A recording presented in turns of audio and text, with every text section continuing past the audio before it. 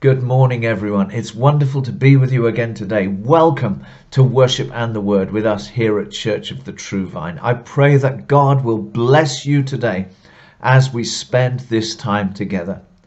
Psalm 8 says, O Lord, our Lord, how excellent is your name in all the earth, who have set your glory above the heavens. Out of the mouth of babes and nursing infants you have ordained strength because of your enemies, that you may silence the enemy and the avenger.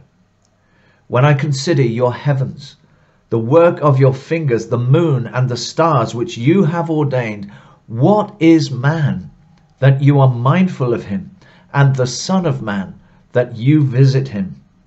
For you have made him a little lower than the angels, and you have crowned him with glory and honor. You have made him to have dominion over the works of your hands. You have put all things under his feet, all sheep and oxen, even the beasts of the field, the birds of the air, and the fish of the sea that pass through the paths of the seas. O Lord, our Lord, how excellent is your name in all the earth. What an amazing, wonderful God we serve, a God who is mighty, the one who created all things by the word of his power and who sustains all things by the word of his power, and yet he is mindful of us. God so loved the world, the Bible tells us, that he gave his only begotten Son, that whosoever believes in him shall not perish but have everlasting life. You know, God is intimately concerned with the affairs of this earth, and he is Lord of all. Whatever you see going on in the world, God is still Lord. And ultimately, evil will be destroyed and everything will be judged righteously. With that in mind, we continue to pray for our brothers and sisters around the world who are persecuted for their faith in Jesus Christ. And today we're praying for our brothers and sisters in the nation of Yemen. Let me read to you from the World Watch List booklet regarding what life is like for Christians in Yemen. Yemen is strongly tribal and it's illegal to convert from Islam to Christianity. Yemeni Christian converts are at great risk of being ostracized, expelled, or even killed by their families, clans, and tribes. Islamic extremist groups threaten so called apostates with death if they do not return to Islam. In other areas, including those controlled by the Islamist Houthis, converts risk imprisonment. In detention centers, Christian detainees have reportedly suffered physical and mental torture. Please join with us as we pray for our brothers and sisters in Yemen today. And of course, we continue to pray regarding this appalling conflict in Ukraine. Please join with us as we pray to the Lord of heaven and earth that he would bring this conflict to an end. And now let's turn our hearts and our minds to worshipping him, this God who is so great, and yet he is mindful of us. We're going to sing that great, great, beautiful old hymn today. I will sing the wondrous story. God bless you as we worship the Lord together today.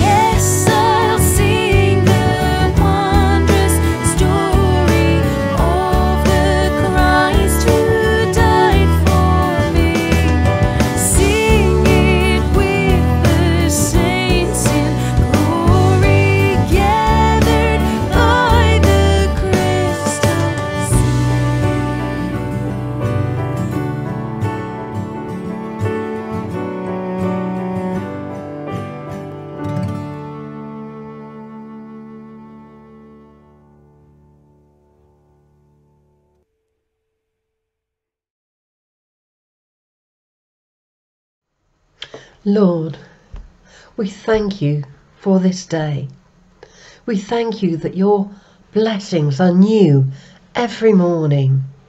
And Lord, we give you praise. We worship you today for who you are and for what you've done. Thank you for your faithfulness to us.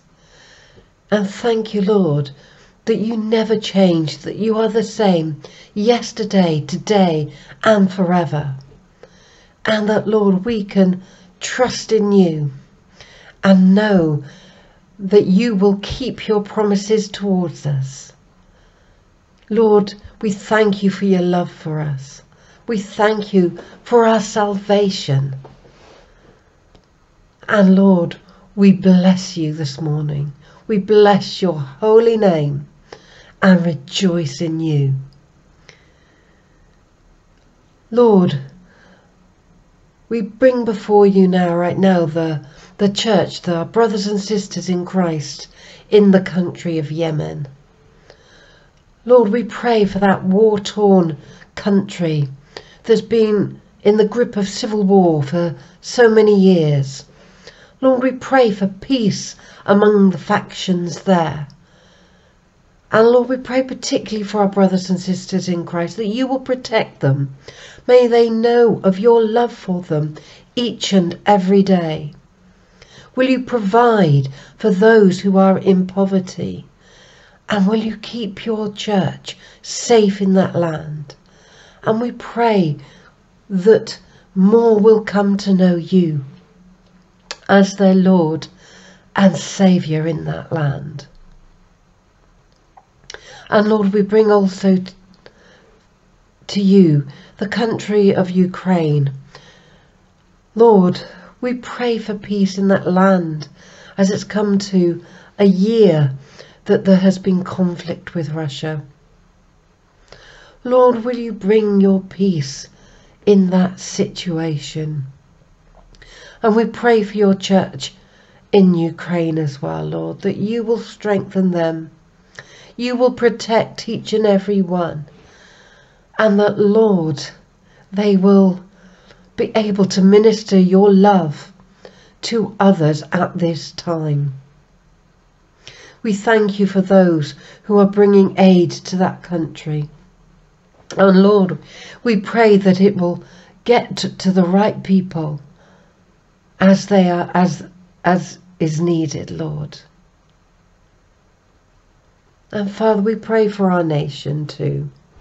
Lord, we pray for those in government at this moment. Oh Lord, will you give them your wisdom?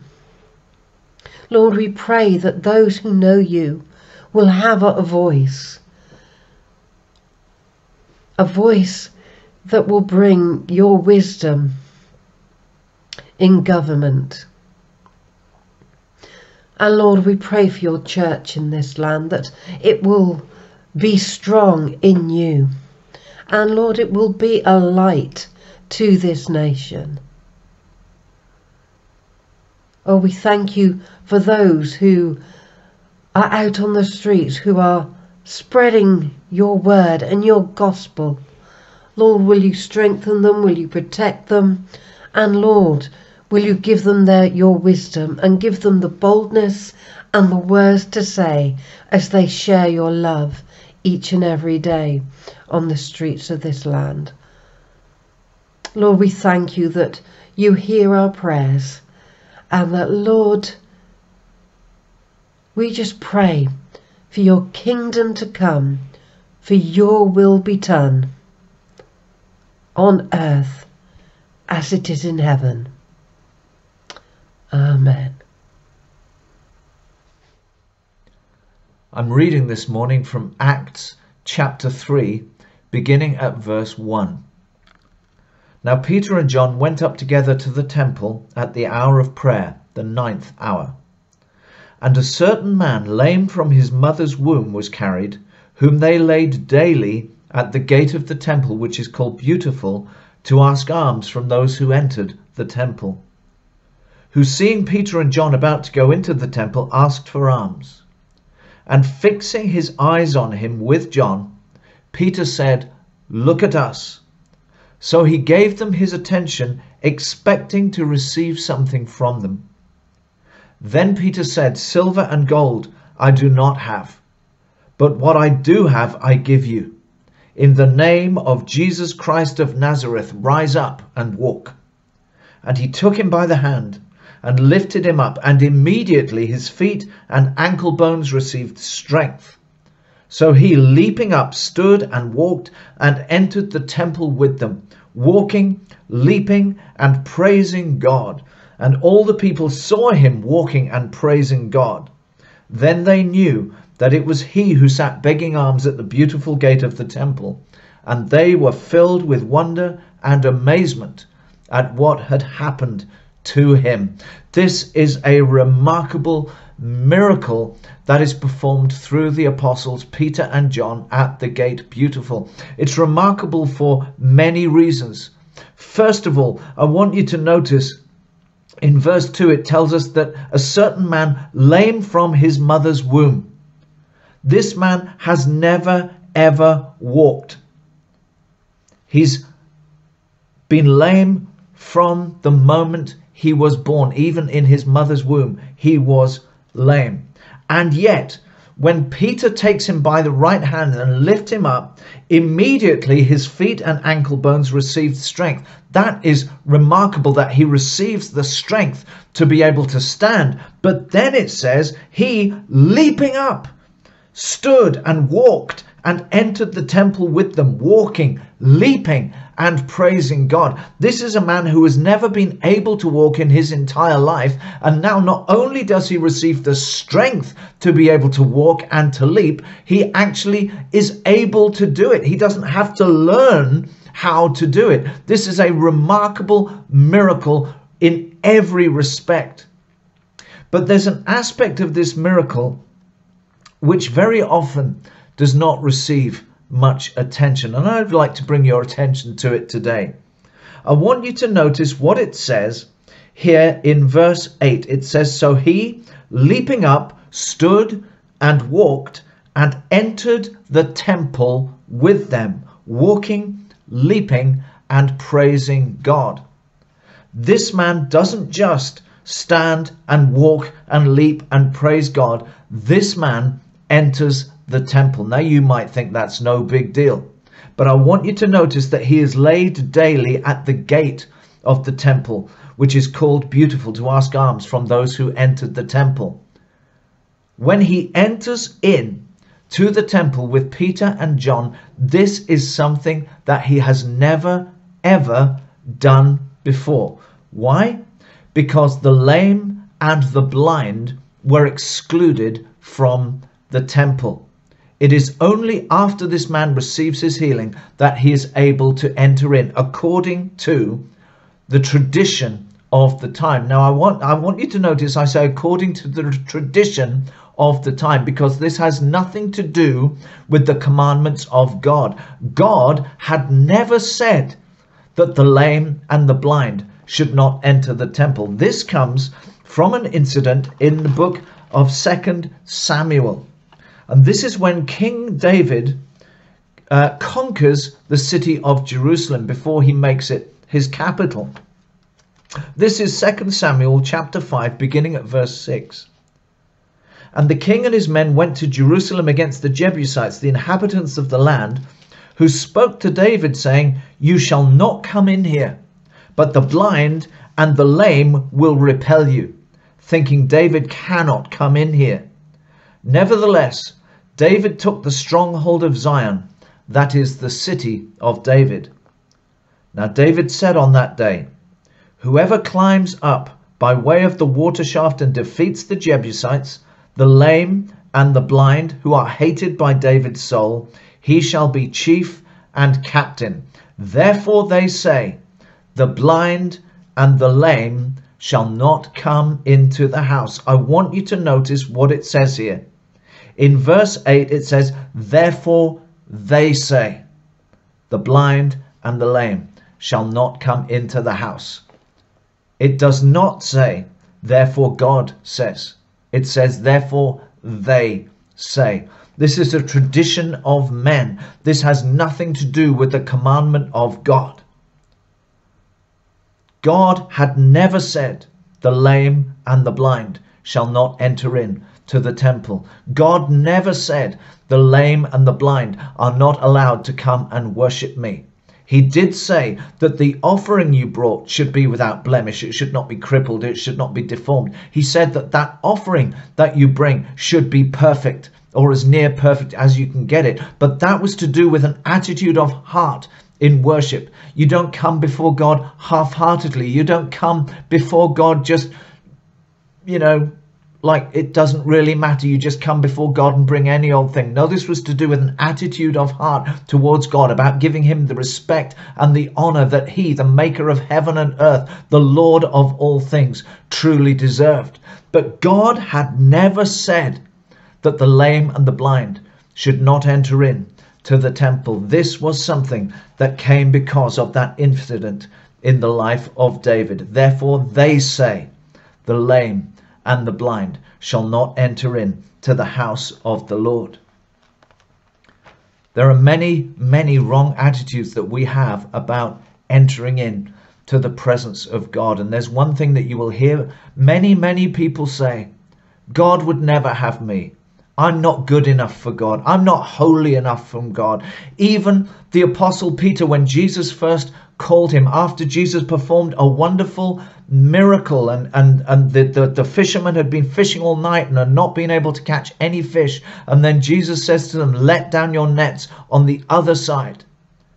And they bring in um, a wonderful catch of fish that is so great they have to call the other boats to help them to bring it in. Their nets are breaking. There are so many fish. And it says that when Peter saw this, he fell to his knees and he said, Get away from me, Lord. I am a sinful man. There are many people who think, I can never be good enough for God. I cannot come to God. But the problem is that this has built up into a tradition, into a man made effort to try and justify not coming to God. God never said, The lame and the blind shall not enter into my presence. And if you turn to Matthew's Gospel and chapter 21, we're going to go from verse 12 Matthew 21, verse 12 says, Then Jesus went into the temple of God and drove out all those who bought and sold in the temple, and overturned the tables of the money changers and the seats of those who sold doves. And he said to them, It is written, My house shall be called a house of prayer, but you have made it a den of thieves. Then the blind and the lame came to him in the temple, and he healed them. But when the chief priests and scribes saw the wonderful things that he did, and the children crying out in the temple and saying, Hosanna to the Son of David, they were indignant and said to him, Do you hear what these are saying? And Jesus said to them, Yes. Have you never read, Out of the mouth of babes and nursing infants, you have perfected praise? Then he left them and went out of the city to Bethany and he lodged there. Notice it says in verse 14, Then the blind and the lame came to him in the temple, and he healed them. Notice the order. Jesus allowed the blind and the lame to come to him in the temple. And once they were inside the temple, he healed them. He didn't say to them, You are not allowed in here. Let me heal you first, and then you can come in. Jesus allowed them to come to him in the temple. And in the temple was where he healed them. So many people have an idea that they have to get themselves cleaned up before they can approach God, that they have to get themselves good enough to approach God. They have to do enough good deeds. They have to give enough money to charity. They have to dare I say it, read their Bible enough. They have to pray hard enough. They have to fast. They have to do all of these things. They have to go through rituals. They have to they have to make sure that they're living as good a life as possible before they feel that God will accept them. But the problem is the Bible says that all have sinned and fall short of the glory of God. We all fall short. Doesn't matter how hard we try. We all fall short. Because of that, we should be excluded from the temple, from the worship of God, because we're not clean, we're not good enough. We are spiritually blind, we are spiritually lame, we are, according to man's thinking, excluded from the presence of God. But Jesus said, Come to me, you who are weary and burdened, and I will give you rest. Jesus does not say, okay, you who are weary and burdened, get yourself cleaned up, get yourselves holy, get yourself sorted out, get your life good enough, and then come to me and I will give you rest. No, Jesus simply says, come to me, you who are weary and burdened, and I will give you rest. We need to get away from man's thinking when it comes to approaching God. The truth is, and it's an awful truth, the truth is that none of us can ever be good enough to approach God in our own goodness. Isaiah 64 and verse 6 tells us that our righteousnesses, that means our acts of goodness, our righteousnesses are like filthy rags in the sight of God. There is nothing that we can ever do to be good enough to approach God. And yet Jesus says, Come to me. Come to me. It's as you come to Him that you receive the cleansing that you need. It's as you come to Him that you receive the forgiveness that you need. It's as you come to Him that He makes you fit to enter into the kingdom of heaven. There is no other way. Jesus said, I am the way, the truth, and the life. No one comes to the Father except through me. Ephesians chapter 2 and verse 8 tells us by faith, by grace, you have been saved through faith, and this not of yourselves. It is the gift of God, not by works, so that no man may boast. Being accepted by God is not because we're good enough. It's because of His grace. And it's through faith in Jesus Christ, the one who laid down His life for us. We were powerless to do anything, to be able in, to enter into the presence of God by our own righteousness. But Romans chapter 5 tells us this, verse 6 of Romans chapter 5. For when we were still without strength, in due time Christ died for the ungodly.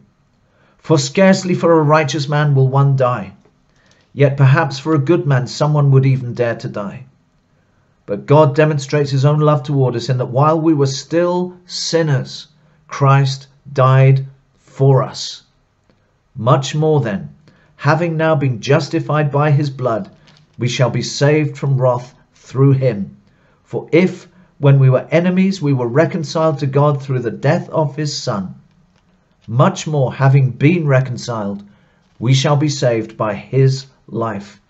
And not only that, but we also rejoice in God through our Lord Jesus Christ, through whom we have now received the reconciliation.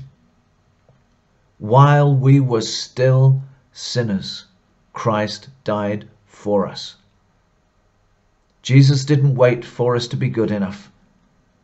Jesus didn't say when they have done enough, when they have tried hard enough, when they've worked themselves to the bone trying to get themselves into the kingdom of heaven. If they hit a certain mark, if they hit the pass mark, then I will die for them. No, Jesus said, while they are still sinners, I'm still prepared to lay down my life for them, to shed my blood for them, so that they can receive forgiveness, so that they can be cleansed from sin, and so that they can receive the gift of everlasting life. Remember, if you think you're not good enough for God, the lame and the blind came to him in the temple, and he healed them. They didn't get themselves healed first. They came to Jesus first, and he healed them.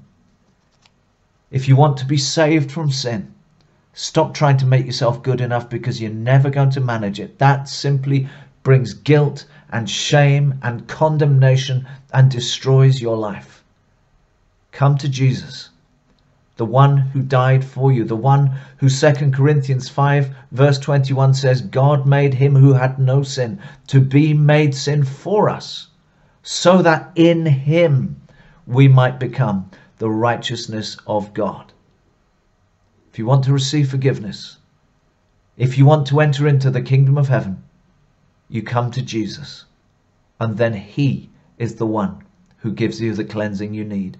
He is the one who gives you the forgiveness you need. You cannot earn it. He gives it freely to those who will come to him, who will choose to turn away from their sin and follow him. That is the offer that he makes to you today, the gift of everlasting life through Jesus Christ. If you know that you are a sinner, there is hope for you today because Jesus saves all who will call upon his name. He has died for all those who know they're sinners. So why don't you pray with me? Choose to turn away from your old way of sin. If you are saying, I want to follow Jesus, then you're in the right place. Praying this prayer in itself will not save you.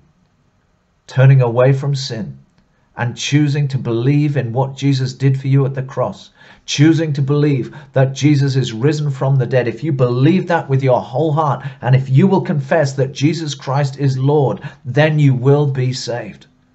To confess him as Lord means that from this moment on, Jesus is your Lord. What he says goes. You follow him. You follow his way and not your own way and not the way of sin. Are you ready to pray? Then pray with me.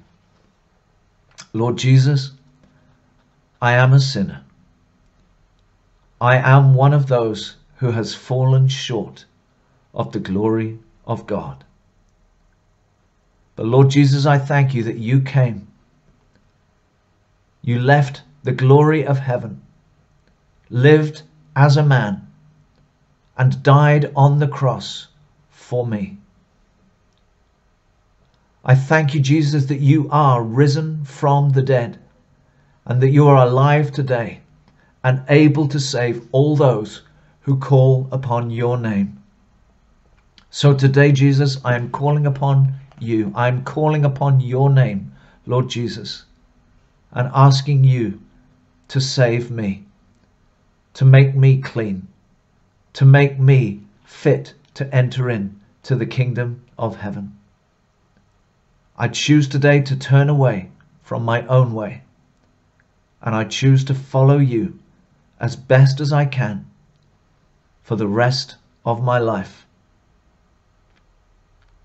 Please fill me with your Holy Spirit to enable me to live this new life in Christ.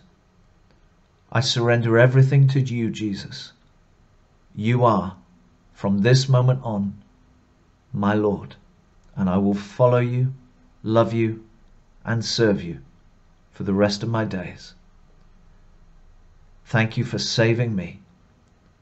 In Jesus' name, Amen. If you've prayed that prayer and you have really meant it in your heart, if you are determined to follow Jesus, then Jesus will have heard your cry. Jesus will have heard your prayer. And in that instant, he will have saved you from your sin. But there's one more thing that I would like to ask you to do. Jesus said, If you will confess me before men, then I will confess you before my Father in heaven. Let somebody know that you have committed your life to Christ. Let us know here at Church of the True Vine. We would love to pray with you, to encourage you, to help you in whatever way we can as you begin this life following Jesus Christ. If you're anywhere in Clevedon or the North Somerset area, we meet uh, on Sundays at the community centre on Princes Road in Clevedon at 10:30 a.m. It would be lovely if you're able to come and join us there. If you're a little bit nervous about coming into a room full of strangers, then just get in touch and we can arrange to meet with you beforehand so that at least you can enter into to, to faces that you know. If you're not in the Clevedon area, please get in touch anyway. We would love to pray for you and to encourage you again in whatever way we can. And of course, we are back here on YouTube at the same time next week. That's 10 a.m. UK time. So until then, God bless you. Bye bye.